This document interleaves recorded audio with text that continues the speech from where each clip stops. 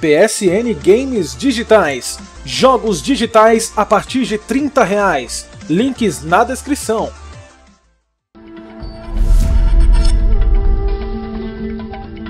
Assassin's Creed, depois de aparecer no canal na categoria Enredo com spoilers, chegou a vez das curiosidades.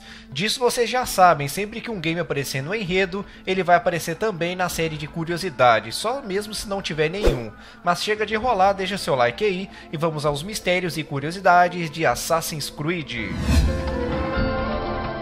Quem nunca deu aí a volta por cima? Começou fracassando em um projeto e depois finalmente conseguiu sucesso. Esse é o caso da produtora Jade Raymond. Há um tempo atrás ela foi responsável por criar o The Sims Online na EA, que até hoje é considerado um dos maiores fracassos da franquia. Alguns anos se passaram, a Ubisoft acreditou no potencial dela e hoje ela é responsável por uma das maiores sagas de todos os tempos, que é a saga Assassin's Creed.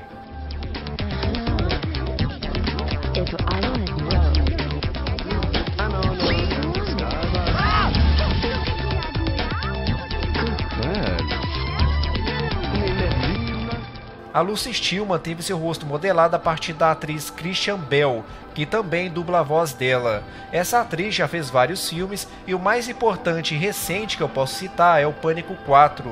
We're near another assassin for 10 years. Use your real name? Nope. Not before today. Credit cards? Cash only. Telephone? It's no one to call. Driver's license? Motorcycle. Guilty pleasure. There's your answer. Vocês podem reparar que algumas janelas do game, a equipe de produção do jogo fez uma brincadeira, deixando o formato dela igualzinho a do Optimus Prime do Transformers, quando ele já está na forma de caminhão. Has he lost his mind? فليسأله أحد لماذا يفعل ذلك Uma curiosidade bem interessante envolvendo a produção do game é que a ideia inicial de Assassin's Creed era de ser um spin-off da franquia Prince of Persia.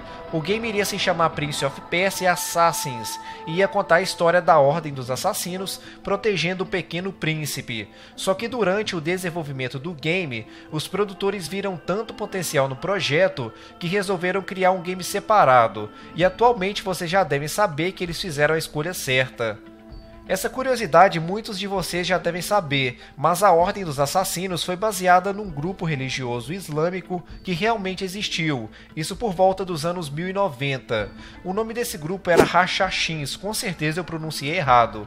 Inclusive até o lema da Ordem, nada é verdadeiro, tudo é permitido, foi inspirado também nesse grupo.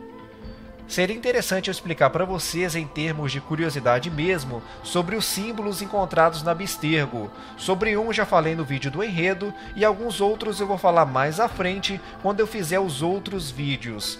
Símbolo da Santa Trindade. Esses três anéis entrelaçados representam para os cristãos o Pai, o Filho e o Espírito Santo.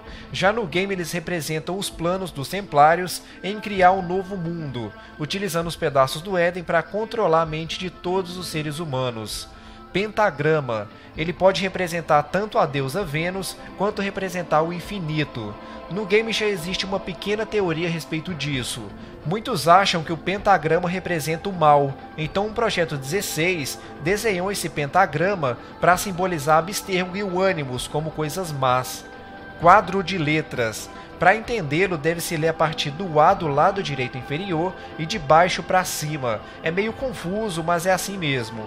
Então, já traduzindo, seria algo como: artefatos enviados aos céus com o intuito de controlar todas as nações e nos fazer obedecer a uma cruzada oculta, não os ajude. Artefato e Cruzada, já entendemos que o projeto 16 fala do pedaço do Éden e também dos Templários. E quando ele fala não os ajude, é um recado que não é para ajudar Abstergo.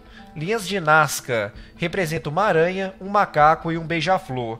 Acredita que o povo de Nazca fazia esses desenhos para serem vistos pelos deuses. Agora já no game pode indicar a posição geométrica dos pedaços do Éden. Yonaguni pode representar a localização de um dos pedaços do Éden. Triângulo de letras, lendo começando do T na parte inferior direito, já traduzindo ficaria assim: Eles drenaram minha alma e a fizeram deles, e eu dreno meu corpo para lhe mostrar onde eu a vi.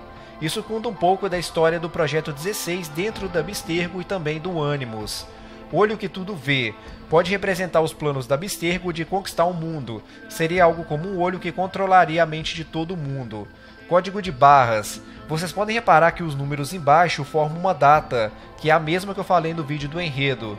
No dia 21 de 12 de 2012, seria o dia em que Abstergo pretendia lançar o satélite e controlar o mundo.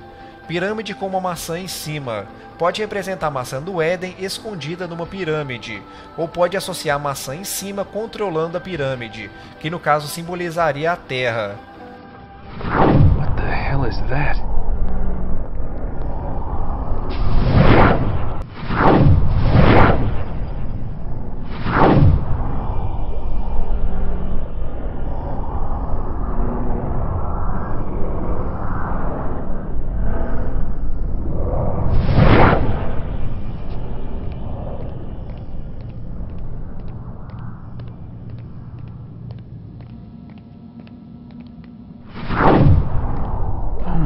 God.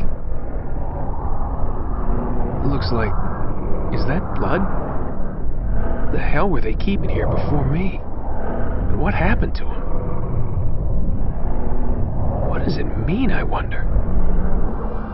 Bom pessoal, então é isso, espero que vocês tenham gostado do vídeo, peço ajuda de vocês na divulgação dele, deixando seu like, comentário e favorito, e se não está inscrito no canal se inscreva aí, ok? Me sigam aí nas redes sociais, os links estão aí na tela e também na descrição do vídeo, então vai lá. Tá aí na tela mais dois vídeos para vocês verem, então assim que terminar o vídeo, pode clicar aí na tela que vai abrir em outra janela, beleza? Um grande abraço, fique com Deus e até mais!